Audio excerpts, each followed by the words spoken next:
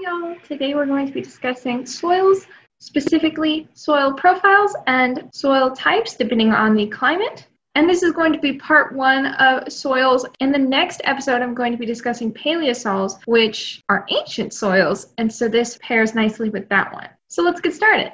Soil profiles and soil types. First, I'll start with the importance of soils.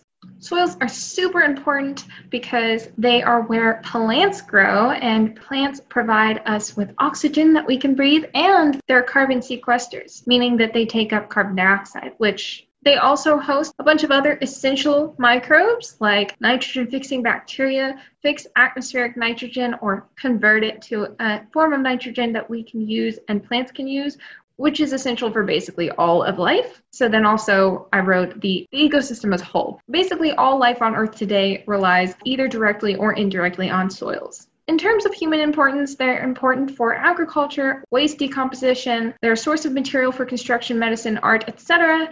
They filter water and waste. They provide geologic, climatic, and biological reconstructions or history if preserved, and they are an essential natural resource. In terms of how they form, you can see here that it starts with the weathering of rock. Bedrock is weathered from rain and animals and microbes. And then when vegetation starts to grow, roots also cause a lot of weathering. And because the organic material and roots can only go so deep into the soil, horizons start to form, or layers of soil, basically an organic rich layer at the top. And then because rain causes the downward movement of certain ions and nutrients, there's what we call a B horizon, which is typically where these things accumulate and is also known as the zone of accumulation. And then down lower and lower, you eventually get down to bedrock. Now we'll talk about soil horizons in more depth in a couple slides, but first we'll talk about soil structures. There are different ways in which the material of soil can basically clump together to form different shapes and morphologies,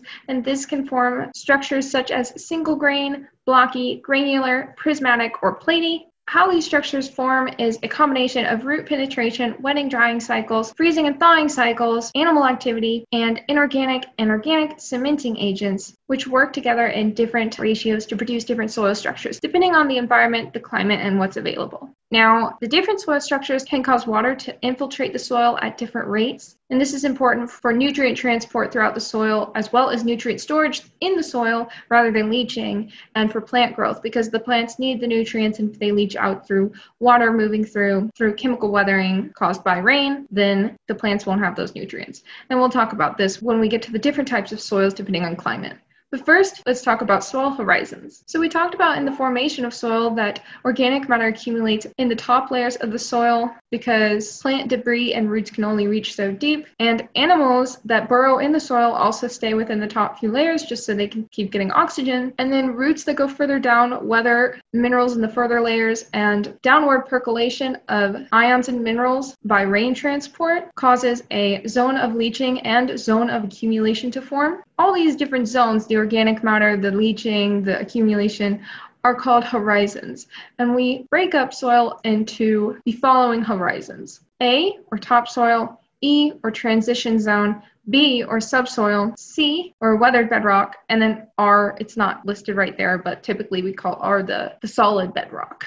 This is a picture of an actual cut bank of soil where you see the grass is the very thin O horizon, which we call O because it's just organic matter. And then the topsoil is organic rich, but it's not only organic matter, it's also got inorganic minerals. And then the transition zone is where the zone of leaching is occurring. And then the subsoil or horizon B, where there is accumulation of minerals that are percolating downward because of the leaching. And then the weathered bedrock.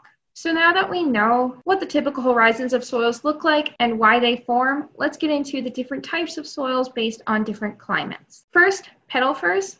Pedalfer soils are common in temperate regions such as the deciduous forests of the eastern United States. They are rich in organic material and are very fertile. They need plenty of rain though because deciduous trees lose their leaves in the winter and so they need this rain to bounce back in the spring they are rich in aluminum and iron minerals, which is where they get their name from. Ped al aluminum, furs, Fe is iron. And this is because chemical weathering by the large amount of rain they get strips the soils of more soluble minerals and leaves behind the less soluble minerals such as iron and aluminum oxides. Next, we have podzol soils, which are common in cool, moist regions, such as coniferous forests in the northern and northwestern U.S. And coniferous trees don't lose their leaves or needles in the winter, and they don't need as much rain because they don't have to bounce back every spring. But the leaf and needle litter that does fall to the ground has a higher carbon to nitrogen ratio than in deciduous forests, leading to a lower pH. Therefore, podzol soils are acidic and pedalfers are alkaline or basic soils. Podzols also have a moist, compacted, humus-rich O horizon, which is ideal for fungi growth. Next, pedocal soils form in dry, temperate regions such as grassland regions. There's little rain in these climates, and this causes less chemical weathering. Therefore, there are more soluble minerals present and less iron aluminum oxides. Therefore, these soils aren't as red in color due to less iron, and they contain more nutrients because of less leaching. However, there is little vegetation because of little rain, and therefore less organic matter and low fertility. Caliche is a common feature of pedocals, and caliche is just calcium carbonate accumulations that form from water that begins to infiltrate downward in the soil layers, but before it gets too far, it then evaporates, causing calcium carbonate, which is a soluble mineral, to precipitate out and accumulate in these layers that mark the furthest reaching layers of the water from rain. The last main soil type we'll be talking about is laterite soils. Laterite soils form in hot, wet tropical forests, which receive constant rain, which causes causes a lot of chemical weathering, and in these regions, they are stripped of their nutrients such as humus and soluble minerals because of all this rain, and left behind are the less soluble minerals, like we talked about, iron and aluminum oxides, and this causes the very rusty red color of the soil because of the oxidized iron. The main concepts that I want you to take away from talking about the soil types in different climates is that where there's less chemical weathering or less rain, soils are thinner, but more soluble minerals or nutrients are present. And where there is intense chemical weathering or more rain, soils may be thick, but nutrient poor. Also, just keep in mind that we did not discuss all the different types of soils that are formed from different climates. These are meant to be short videos, and that would be a long video. There are a lot of different types of soils. We just discussed some main ones so that you understand the concepts behind how climate affects soil type. Okay, so lastly, I'm just going to quickly discuss soil composition and how this affects soil fertility. So soil composition, a lot of people might think is just dirt, it's actually not. The mineral content is only about 46% in most soils. Then you have organic matter as well. And then the rest is water and air, which you might not have thought take up 50% of soils, but they do. This is really important for the growth and health of vegetation and animal life. Also, as you'll see in the next slide, the grain size of these mineral grains is really important for soil health and vegetation, and this is affected by the water, air, and organic fraction. So here's the ternary diagram that a lot of soil scientists and agriculturists use when they are trying to determine the composition of soil and whether it will be a healthy or fertile soil or not. Basically, the three types of grain size common in soils is sand, silt, and clay.